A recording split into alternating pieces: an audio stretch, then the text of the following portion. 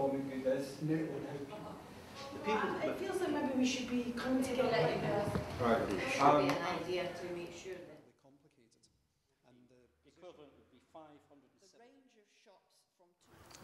Uh, we're speaking to An- Andy Wilson at the East India Docks in Greenock.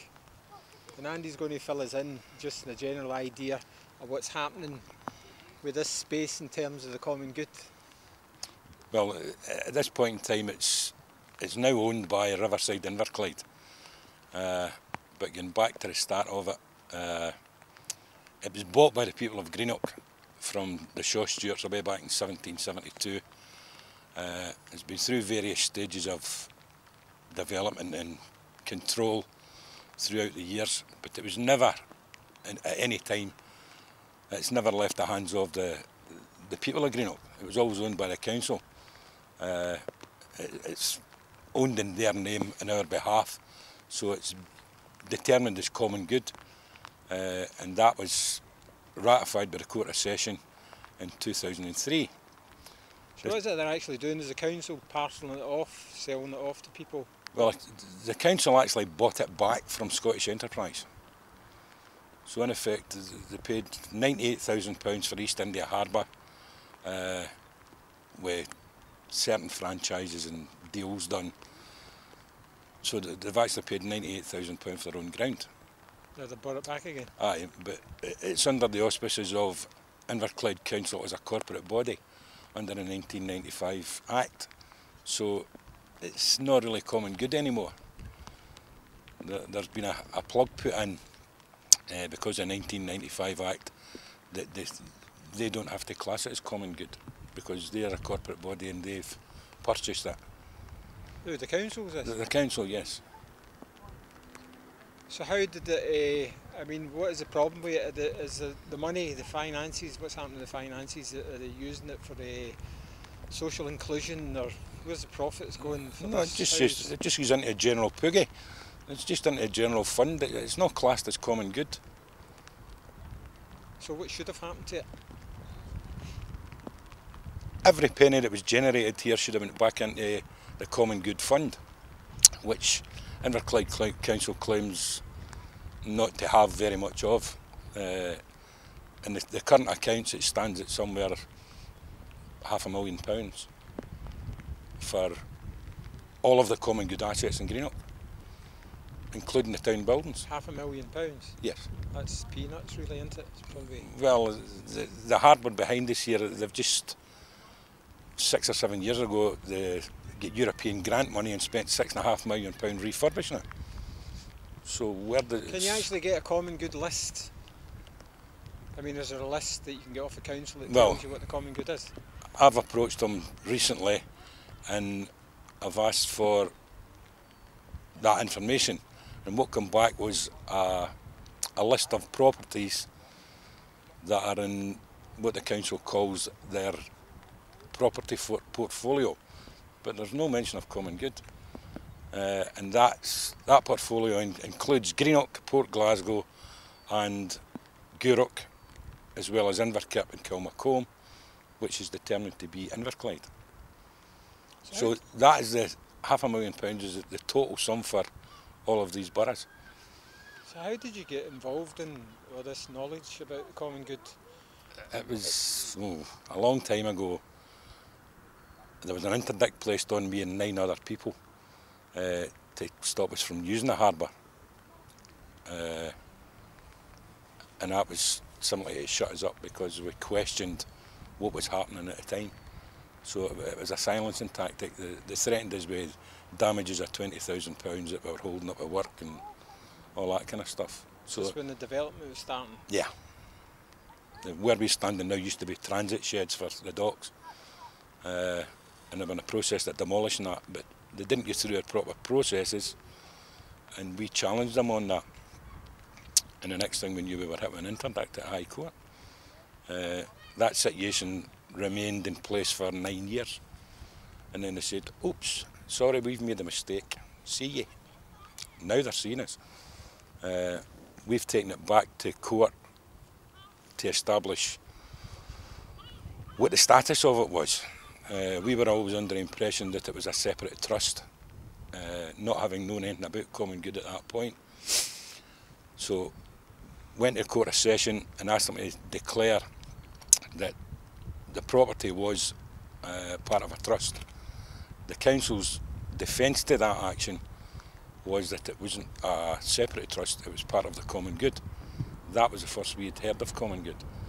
Uh, that being the case, the, the, the court agreed with them, yes, it's not a separate trust, and throughout 16, 17 pages of rational decision, uh, looking at the history of the thing, the, the court determined, yes, it was common good and not a separate trust. That was in, decision came out in 2002. We then approached the council to find out what their position was and what they're prepared to do about it because their defence has been upheld and they were, in a sense, trustees uh, because the common good is a quasi-trust in effect. So their responsibilities as trustees were to look after the asset on our behalf. Uh, to this date, nothing. It takes them 10 months to answer a letter. But that's, that's most people's idea of the thing, you know, the common good. Mhm. It's put in trust with the council to look after. Yeah, And I mean, even here, when you look about, what have you got, supermarkets? Yeah. More supermarkets. Well, a, a piece it's split into two sections. There's title rent 3 43834, which is the harbour land behind us. This is the boundary line, and 42086, which is to the west. A portion of that we've now got a big swimming pool on a leisure centre. The council bought that ground back from Scottish Enterprise in order to build the leisure centre. So they've used public funds to buy back public land. Mm. In a similar situation with the East India Harbour behind us, uh, it was valued by the district valuer at £300,000. The ultimate end of the situation was Inverclyde Council bought back their own harbour for £98,000, but they only bought back the three walls. They didn't buy the water part. Mm. Strange, because throughout the sales of this, uh, it was first sold by Clydeport, who believed they owned it, because they were successors to the Greenock Harbour Trust.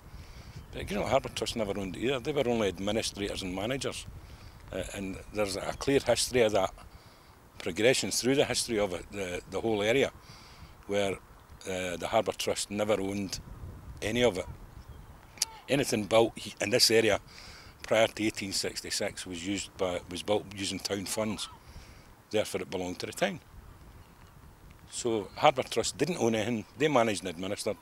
Clydeport succeeded them, and the town was busy. Everybody was working, so nobody was really interested, and they didn't really know anyway, because nobody told them this. So is there other people, there's you and Ken, uh, I mean, how, how do people get about dealing with this stuff? Is there much? They don't deal about it. There's no publicity. Some years ago, I mean, where how, how would you, how would you put more public, uh, more public interest in the thing? I mean, peop people kind of, when you explain what the common good is, Mhm. they kind of get it quite quickly, but this common good thing, they just go, what, what does that mean? And how do you think we should get some kind of public awareness? Obviously get it into the public eye, but we attempted when the, when the court case was going on. Uh, the BBC come down and did an interview in the river on a boat, uh, and it was supposed to go on one of the, these public awareness programmes. Uh, two days before it was due, to be broadcast, it got binned for whatever reason we don't know. We done interviews with the Herald, and they were their publication date was a Tuesday. Uh, it didn't happen, and when we questioned that, we were told that somebody from Scottish Enterprise had approached them and asked the question: "See that big uh, advertising budget we have with you? Do you want to keep it next year?" Mm. So uh, it's big boy, wee boy, There's, uh, there's a lot of that in it. and we're a big boy, so we can't do wrong. And there's certainly, I couldn't say conspiracy, but there's certainly been collusion here. Well, I don't think it's a conspiracy, it's just straightforward business. They're just doing it and they get off with doing it. Ah, But piracy is illegal. Aye, but I'm saying it's just public awareness. People just think yeah, it's nothing to do with me. Yeah. But if they were aware of how much money was involved hmm and the potential for that money, particularly places like Greenock, you know what I mean? I think you know we need to get them interested that way. Uh, well, that's just the, the problem getting it into the public eye because at the end of the day, everybody's making a buck down here except the people who really own it. Yeah. Scottish Enterprise, Clydeport. Uh, Clydeport sold this harbour behind us and didn't own it. They're now coming back in to get a second bite at the cherry I think in partnership with other bodies. Clydeport's idea is going for Glasgow and just coming as far as it can go. Well, what have they done in Glasgow? How much common good land did they steal in Glasgow as well? Or is that a question we shouldn't ask? I'm not really concerned with Glasgow. Glasgow's got its own problems. I'm concerned with Aye. this area. Well, it is a kind of national problem, really. Of course it is, but it's, it. it's down to ignorance. Uh, the public don't know about it, so and their attitude is it's nothing to do with me, so that's that's wrong. But trying to get it into the public eye is the hard part because the papers aren't interested, or they've got ulterior motives and alternative motives, keeping their budgets good and all that kind of stuff, and playing with big boys. Where can you go from there? you got an idea how much revenue's been made out of the? Not really, no, but I know for instance that Lidl have got a store on its site and they've got a 125 year lease at £1 a year if requested. Now, that lease is with Scottish Enterprise. And in my view, that lease was only, I mean, it's a registrable lease as far as the land register is concerned. And that lease was only given out to put somebody in the middle and protect the keeper's position. Because the keeper's job is to protect the proprietor and possession. Uh, you know, one pound a year, that, that's ridiculous. Scandalous. Aye, exactly. And is, uh, Mr. Elliott, how, how is it that Scottish Enterprise, rather than the Town Council, are acting as the Well, they purchased the, they purchased the harbour site from Laments, who in turn had purchased it from Clydeport. That's 43834.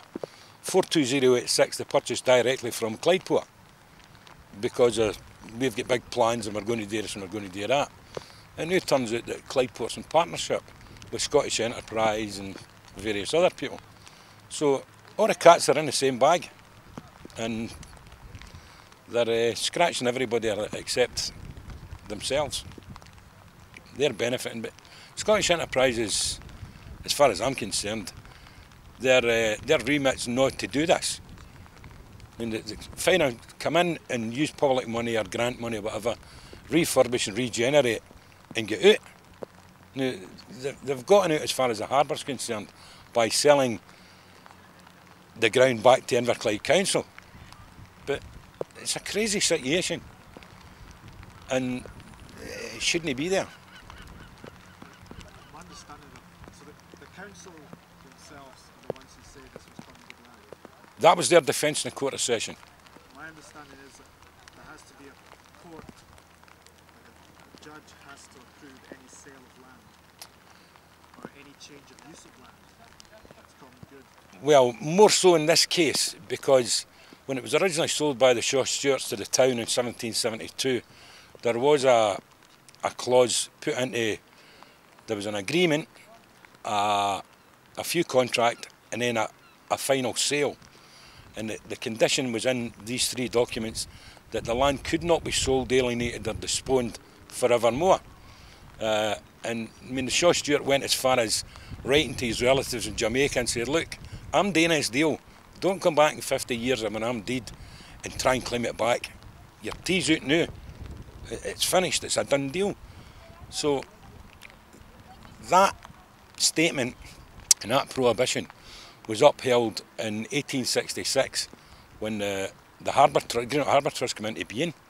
Uh, that was carried through in section 89 of the Act. There was a saving of that clause. It was again saved in 1913 when they changed the Harbour Constitution again uh, under section 212 of the 1913 Act. And in 1965 when the, the Authority Act came into being, uh, section 131 states that the authority should act as if they were trustees on any land that that they're taking over.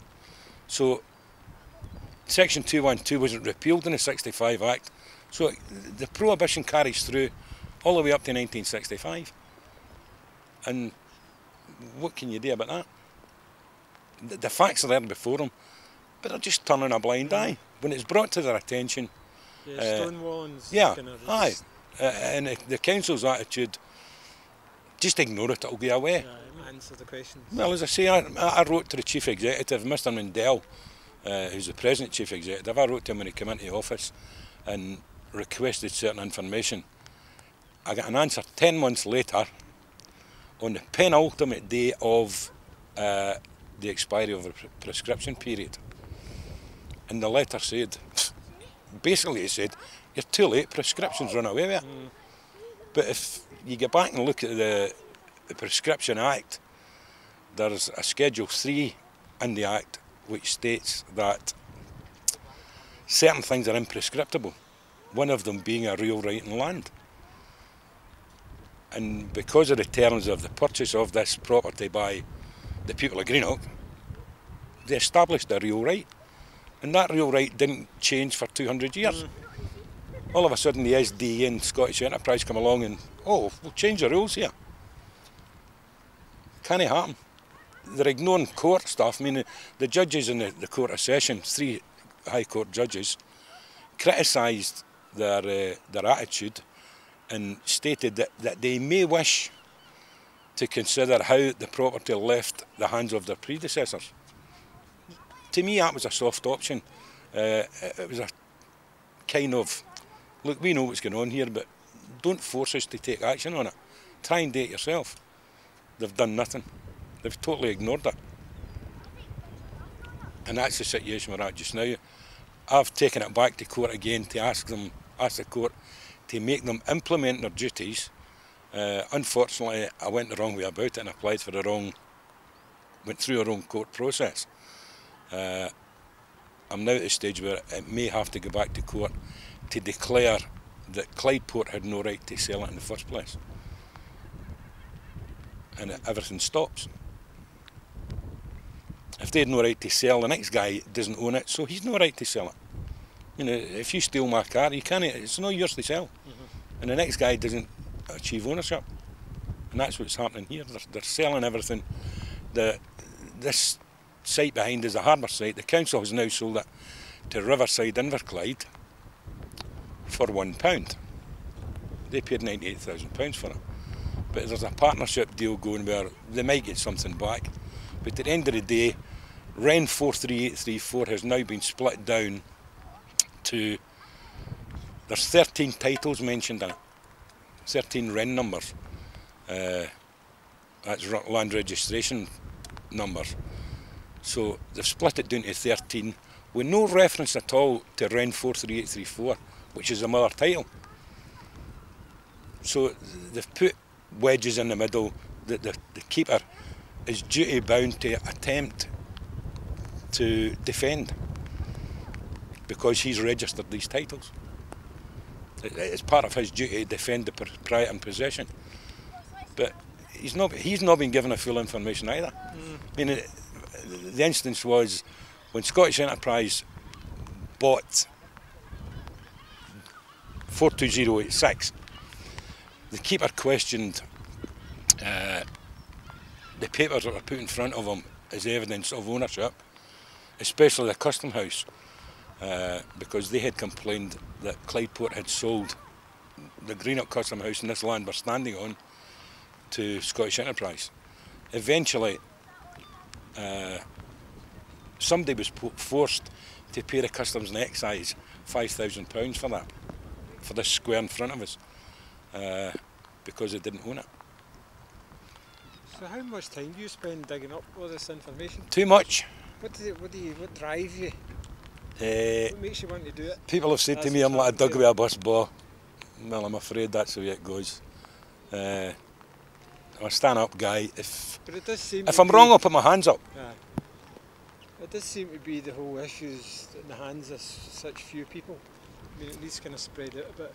With, uh, Well, hopefully this will achieve that. but I think creating awareness of this, what the term common good means, hmm would help things along. Well, it's at the end of the day, it's ours, and why should somebody else Well, profit maybe from we it? should call it that. At the end of the day, it's ours. Aye, But it's ours or something that's not. that's, There must be a, a lot of money being generated by the businesses that are on. aye, but it's not going back to the proper place. Where, if, if that money was going back to the common good fund, what sort of things are they doing today that could benefit from that? I don't really know. I'm not involved in uh, po- uh, politics or these kind of things or where it goes. But uh, as far as I'm aware, there there is other places where uh, they've got common good funds, and there's a process where worthy causes or worthy people can apply uh, in certain ways to to get benefit from it. I mean, in this area, they're, they're closing down care facilities and uh, educational facilities because they've got no money. The money's there if we want to go and look for it.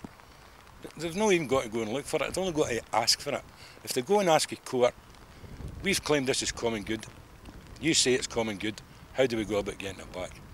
And if they challenge the keeper, uh, I'm quite sure he would be receptive because when we went to court with the keeper, the, they walked out the door on a technicality, and the technicality was that we, as pursuers, had no title to sue. And the case was binned because it's not ours. In effect, it is ours, but it's not registered in our name. The, the true custodians are the council, and they weren't trying to chase it. So, as far as the, the land court, uh, the lands court's concerned, Inverclyde Council are the only people who can challenge this, and they're not prepared to do that. The reasons for that, I've got no idea. Probably because uh, past administrations have messed it up, and somebody's going to get egg in their face. But I mean, at the end of the day, this is not a, a headhunting exercise. exercise. This is to get a proper perspective on it and get the land back into the hands of the people. That's all we're trying to achieve. And vindicate our own position because being taken to court for nine years on interdicts and it's a lot of press and a lot of hassle. And if you're not wrong, it shouldn't happen. So somebody needs to get it sorted out very quickly uh, because I'm getting tired. Well, that's one of the things you could be using common good fund for. I want my court case, my court costs Aye. back again. Oh, aye, Aye. aye. Aye, In 15 years of my life. I mean, you should fund dissent. I mean, people. Well, at the end of the day, I'm. At the end of the day, I'm fighting a corner that the council should be fighting. Mm-hmm. Why should I have to do that? The, uh, in some parts of Scotland, the community councils have taken on the kind of campaigns on good. The community council doing it? Well, there, there's there's varied. There's about six or seven community councils, but we've not. We approached them initially way back, 12, 14 years ago, and the attitude was, "I've not got a boat," and people seem to think this is this is about harbours. I mean, we were the nickname we got was "Ocherian boat people" again. It's nothing to do with me. You know, aye, you know, I've any, I'm not going to get any benefit out of it. But as I say, we didn't know anything about common good at that time, so we couldn't explain the benefits that could be achieved by establishing this as common good. So maybe if we told them now, they would uh, take a wee bit more notice.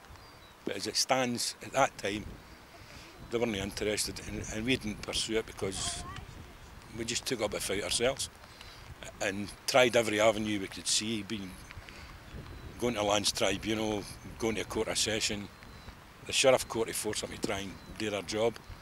Uh, but the fight will go on.